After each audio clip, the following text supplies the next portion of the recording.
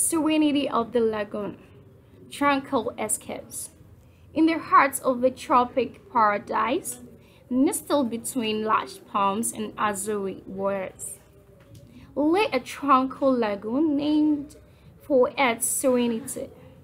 This hidden gem was a heaven for weary souls seeking solace and escape from the chaotic world. One morning, as the sun began to cast its golden glow upon the lagoon, a wanderer named Kai arrived at its shores. Kai had heard whispers of this secluded sanctuary, a place where nature harmonized spirits and offered a peaceful respite. As Kai stepped into the lagoon's crystal clear waters, a sense of calm washed over him. The gentle repose embraced Kai, carrying away the burdens of the outside world. The air was imbued with a fragrance of tropical blooms, and the rustling palms seemed to him a soothing melody. Kai wandered deeper into the lagoon very vibrant fish just beneath the surface, and the sunlight played upon the water, creating a kaleidoscope of colors.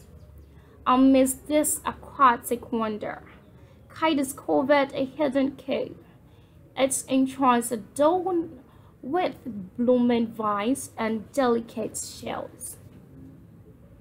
Entering the cave, Kai found a natural pool fed by a cascading waterfall. The water shimmered in the dappled sunlight, inviting Kai to immerse in its embrace. As Kai swam, a sense of pure serenity washed over, like a gentle tide, carrying away worries and fears. In that tranquil heaven, Kai found a moment of clarity. It was a place where time seemed to stand still, and the worries of the world were but distant echoes. Kai realized the importance of such escapes, where one could find solace and recharge their spirits amidst the beauty of nature.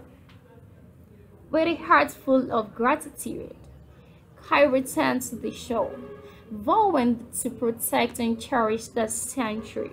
The serenity of the lagoon became a cherished memory, a reminder that amidst life's hustle and bustle, there were places of peace and beauty where one could find serenity and rejuvenation.